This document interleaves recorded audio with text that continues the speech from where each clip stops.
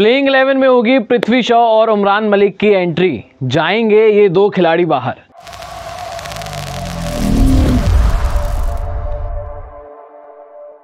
नमस्कार, मैं हूँ नितिन भारद्वाज और आप देख रहे हैं क्रिकेट एडिक्टर इंडिया और न्यूजीलैंड के बीच चल रही टी सीरीज़ का आखिरी मुकाबला नरेंद्र मोदी स्टेडियम में एक तारीख को खेला जाना है।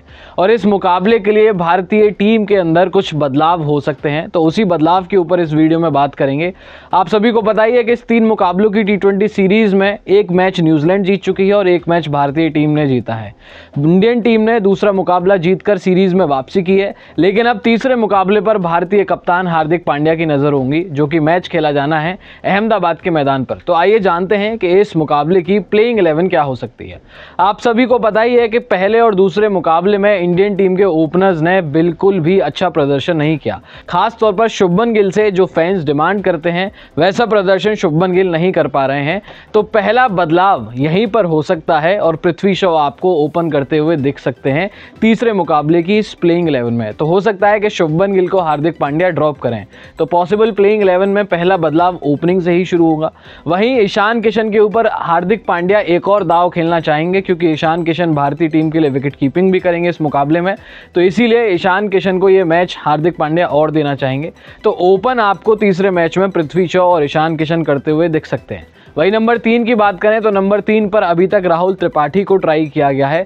लेकिन राहुल त्रिपाठी ऐसा लग रहा है कि वो इंटरनेशनल मटेरियल नज़र नहीं आ रहे। हैं हालाँकि राहुल त्रिपाठी ने आईपीएल में काफ़ी अच्छी परफॉर्मेंसेज दी हैं, लेकिन जब से उन्होंने इंडिया के लिए डेब्यू किया है, सिर्फ़ एक मुकाबले को छोड़ दें तो राहुल त्रिपाठी के बल्ले से रन नहीं आ रहे हैं। तो तीसरे मुकाबले में राहुल त्रिपाठी के ऊपर अहम ज़िम्मेदारी होगी और अगर उन्हें टीम में अपनी जगह बनानी है तो इस मुकाबले में उन्हें रन बनाने होंगे।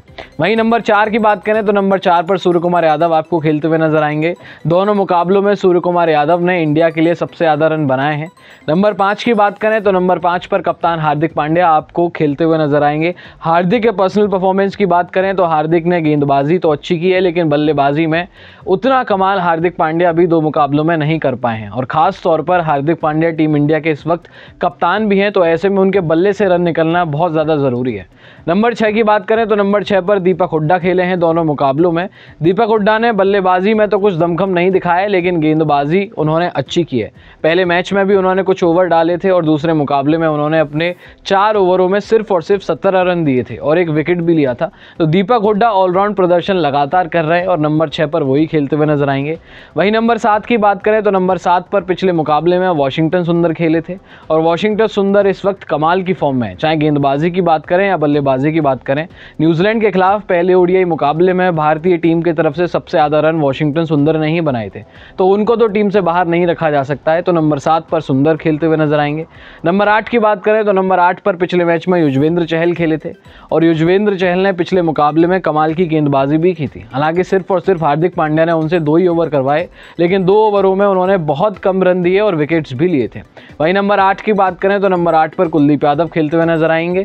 जब से कुलदीप यादव की वापसी इंटरनेशनल क्रिकेट में हुई है, उन्होंने लगातार अच्छा प्रदर्शन किया है और अब वो एक भी मौका नहीं दे रहे हैं अपने आलोचकों को कि वो उनके ऊपर सवाल उठाएँ और कहें कि कुलदीप यादव की जगह प्लेइंग एलेवन में नहीं बनती है। तो नंबर आठ पर जैसे पिछले दो मुकाबलों में कुलदीप खेले हैं, इस तीसरे मैच में भी कुलदीप यादव आपको खेलते हुए नज़र आएँगे। वहीं नंबर नौ की बात करें तो नंबर नौ पर अभी तक शिवम मावी खेलते हुए नज़र आए हैं।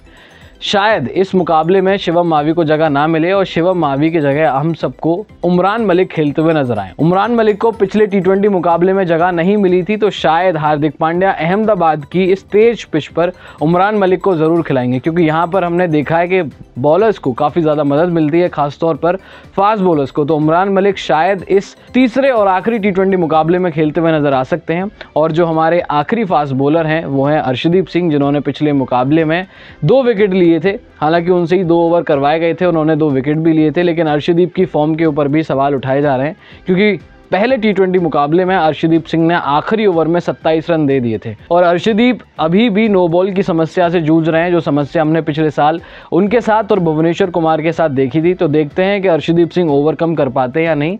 लेकिन तीसरे टी ट्वेंटी की प्लेइंग इलेवन में अर्शदीप ज़रूर शामिल रहेंगे। तो ये होने वाली है भारतीय टीम की प्लेइंग इलेवन इस तीसरे टी ट्वेंटी मुकाबले के लिए। सिर्फ़ और सिर्फ़ दो बदलाव है। पृथ्वी शॉ की एंट्री हो रही है इस टीम में और उमरान मलिक की भी। साथ ही साथ इस मैच में आपको शुभन गिल खेलते हुए नहीं नज़र आ सकते हैं और शायद शिवम मावी भी आपको खेलते हुए नज़र ना आए। तो फ़िलहाल इस खास रिपोर्ट में इतना ही। अगर आपको वीडियो पसंद आए तो कमेंट कर कर अपनी राय ज़रूर रखें। साथ ही साथ ये भी बताएँ, क्या वाकई में ये दो चेंजेस आपको देखने को मिलेंगे या नहीं, या फिर आप शुभमन गिल को एक मौका और देना चाहेंगे। वीडियो को लाइक शेयर करते रहिएगा और चैनल को अभी तक आप लोगों ने सब्सक्राइब नहीं किया है तो चैनल को सब्सक्राइब करना मत भूलिएगा। धन्यवाद।